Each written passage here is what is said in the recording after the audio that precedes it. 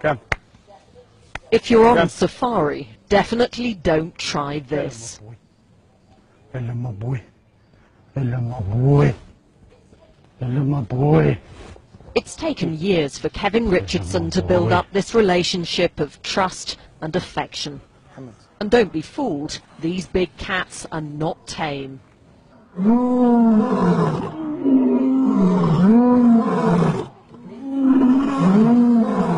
This is how the pride greeted us.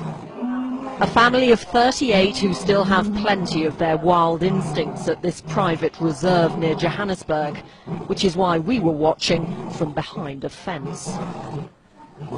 Hello, my boy.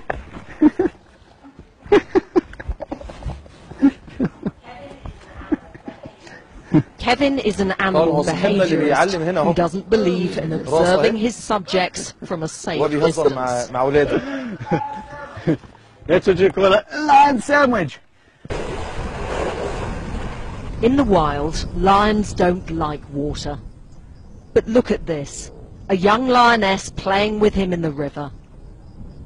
This footage has amazed wildlife experts around the world.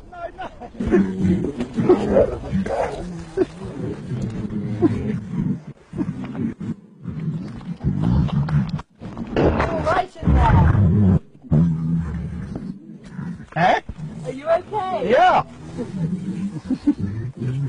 this is normal.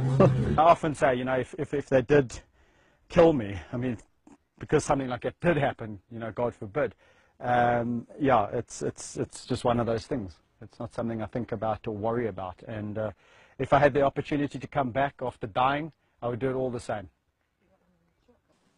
There is a remarkable bond here. Over time and without any kind of coercion, these lions have accepted a man as part of the pride. اللي أنا عايز أوصله من خلال الفيديوهين إن أولادنا ترويضهم وتعليمهم وتأديبهم في صعوبة ولكن ظني إن شاء الله بإذن الله تبارك وتعالى ان مش هتكون صعوبته صعوبة تربية الأولاد زي صعوبة تربية مثلا ال- الأسد ولا النمر ده لا يمكن يعني